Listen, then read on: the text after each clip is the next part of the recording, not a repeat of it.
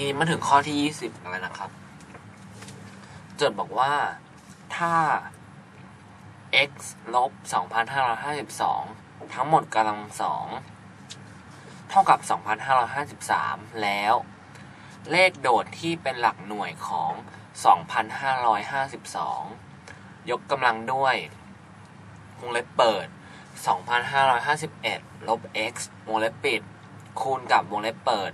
2,553 ลบ x วงเล็บปิด เท่ากับข้อใดต่อไปนี้ครับ ช้อยนะครับจะมี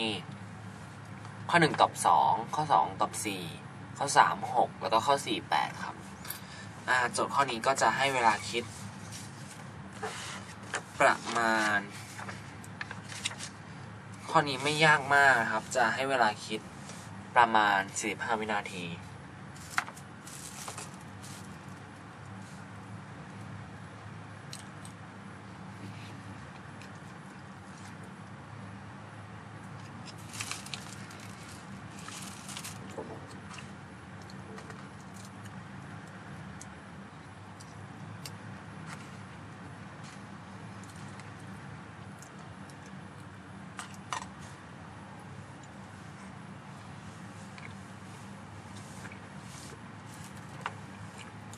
อ่ามาเฉลยกัน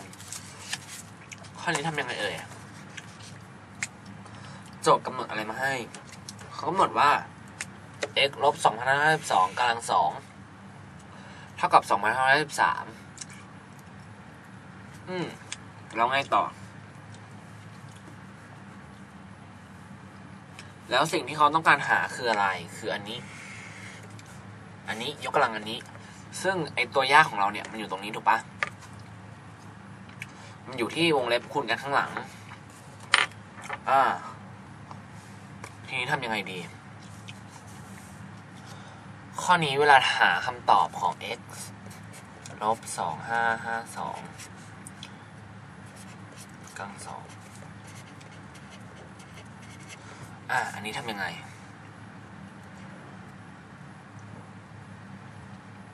ทำยังไง เรากระจายดีไหม กระจายข้างหน้า เป็น x กำลังสองลบกับสองคูณสองพันห้าสิบสอง x แล้วบวกด้วยสองพันห้าร้อยห้าสิบสองยกกำลังสองดีไหมแล้วเอานี้ย้ายมาลบ อ่า ไม่ดี เพราะว่านี่ก็เลขสามหลักแล้วสามหลักยกกำลังสองก็เป็นหลักล้านเลยทีเดียว เพราะฉะนั้นวิธีทำยังไง แสดงว่าโจทย์ข้อนี้มันจะต้องมีทริคอื่นที่ใช้ในทางการทำเพื่อที่จะให้มันทำกันได้ง่ายขึ้น โดยที่ไม่ต้องคิดเลข 2,552 ยกกำลังสองคืออะไรเราเรามาดู ทีนี้เราย้อนมาดูสิ่งที่โจทย์ต้องการหาคือ 2,552 ยกกำลัง 2,551 ลบ x คูณกับ 2,553 ลบ x เรามาดูตัวข้างบนก่อน ตัวข้างบนนี้ทำยังไงดีทำยังไงดีทำยังไง เราสมมุติให้ x ลบ 2,552 เป็น a ดีไหม เราจะได้ว่า a กำลังสองเท่ากับ 2553 เรียบร้อย จากนั้นเราแทน x ลบ 2,552 เท่ากับ a ลงไปในทั้งสองวงเล็บ เป็นอะไร อ่า ดูแค่ตัวตัวเลขชี้กำลังข้างบน เป็น 2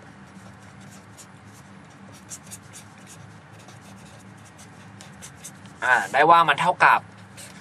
ดึงเป็น เป็นยังไงดี เอานึกเอาอะไรดี ดึงลบหนึ่งออกมาจากทั้งสองวงเล็บไหมเราเขียนในรูปนี้ได้ไหม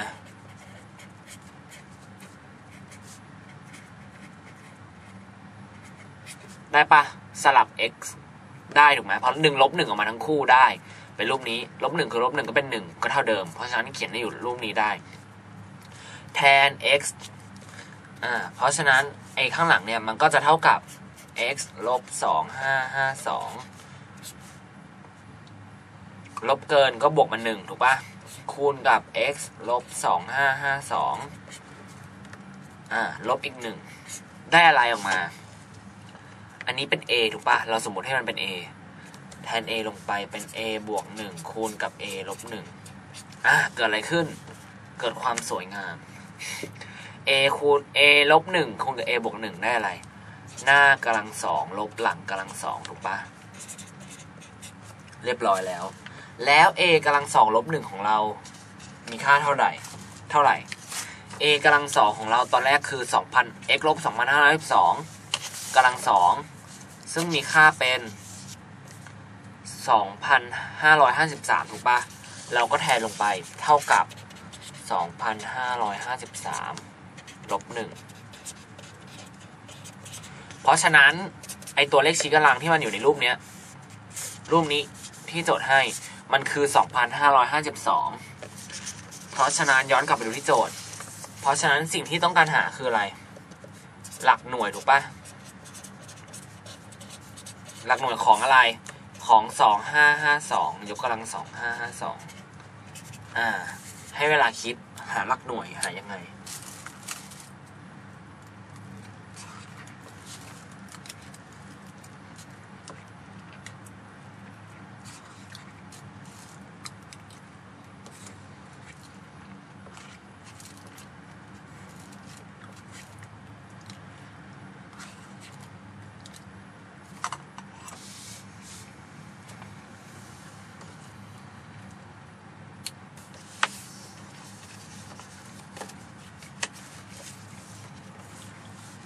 อ่าได้หรือยังเอ่ยหาหลักหน่วยได้หรือยัง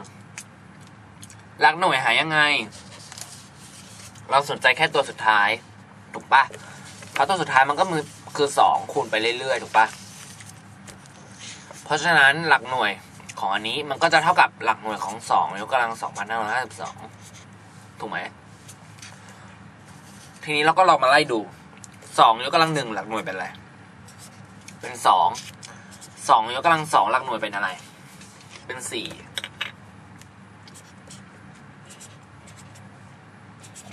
สองกำลังสามเป็นแปดสองกำลังสี่ได้อะไรสิบหกถูกบ้านหลักหน่วยเป็นหกสองกำลังห้าหกคูณสองเป็นลงท้ายด้วยสองสองกำลังหกสองคูณสองลงท้ายด้วยสี่สองกำลังเจ็ดสี่คูณสองลงท้ายด้วยแปดเพราะฉะนั้นเราจะได้ว่าอะไร มันซ้ำถูกปะ เป็นชุด ชุดละสี่ตัว ถูกต้องไหมคือหนึ่งสองสามสี่ก็จะเป็นชุดหนึ่งห้าหกเจ็ดแปดก็จะซ้ำเลขหน่วยหลักหน่วยซ้ำกันเหมือนเดิมคือสองสี่แปดหกเพราะฉะนั้นหลักหน่วย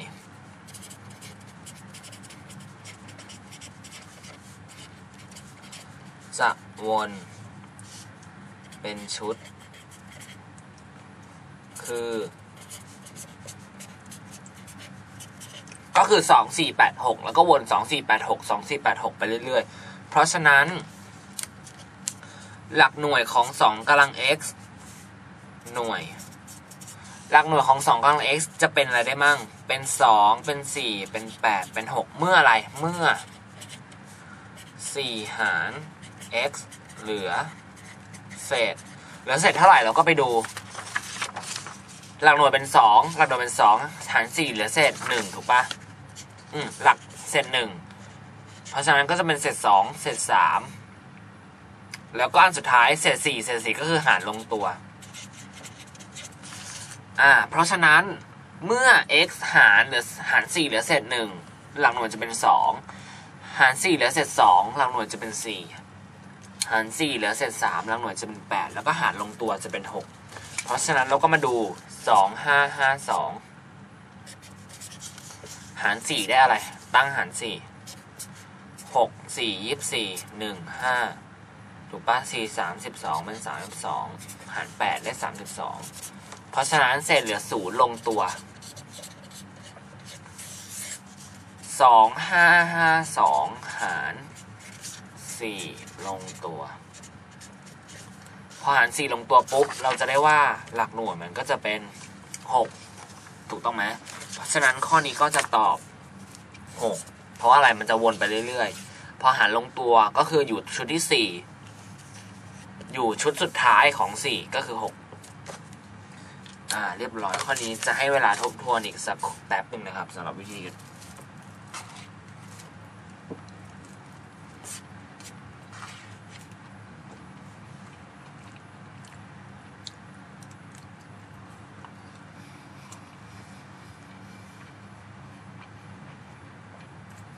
อ่า เวลาเจอโจทย์แบบนี้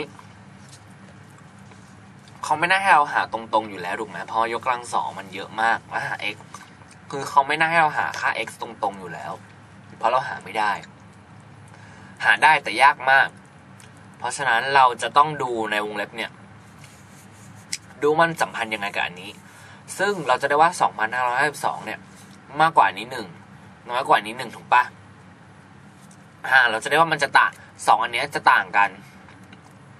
ต่างจากอันนี้อยู่หนึ่งคือต่างทางมากกับต่างทางน้อย จะได้ เราก็สมมุติ สมมุติมันออกมาเลยเป็น สมมุติมันออกมาว่า เป็นอันนี้ ให้สอง x ลบสองห้าสองเป็น a เราจัดรูปไปตัวข้างหลัง จะได้อยู่ในรูปนี้ ซึ่งมันเท่ากับ a กำลังสองลบหนึ่งก็คือเป็น a บวกหนึ่งคูณ a ลบหนึ่งเป็น a กำลังสองลบหนึ่งจากนั้น a กำลังสองของเราเนี่ย มันก็คือ x ลบสองห้าสองกำลังสองซึ่งเท่ากับสองห้าสามเราก็แทน a กำลังสองเป็นสองห้าสามจะได้ว่ามันจะเท่ากับสองห้าสองถูกปะจากนั้นหาหลักหน่วย หลักหน่วยของ 2,552 ยกกำลัง 2,552 หลักหน่วยเนี่ยมันก็จะมีแค่ 2 คูณกันนะ ไปเรื่อยๆถูกไหมเพราะฉะนั้นก็คือหลักหน่วยของ2ยกกำลัง2,552ซึ่งเราก็มาดูว่า2เนี่ยเวลายกกำลังอะไรเนี่ย มันวนกันหรือเปล่า มันซ้ำหรือเปล่า และมันซ้ำทีละกี่ตัว ซึ่งเราก็มาดูว่าทีเนี้ยมันซ้ำทีละสี่ตัวก็คือชุดหนึ่งสี่ตัว ชุดหนึ่งสี่ตัวไปเรื่อยๆเพราะฉะนั้นเราเอาเลขชี้กำลังมาหารสี่ดูว่าเหลือเศษเท่าไหร่ ถ้าเหลือเศษหนึ่งก็ตรงกับอันนี้ เหลือเศษสองอันนี้ เลสสามอันนี้หารลงตัวก็คืออันนี้อันสุดท้าย ครับก็เรียบร้อยนะครับสำหรับข้อนี้ก็จะตอบว่า หลักหน่วยของอันนี้เท่ากับหกก็จะตอบช้อยสามนะครับเท่ากับ6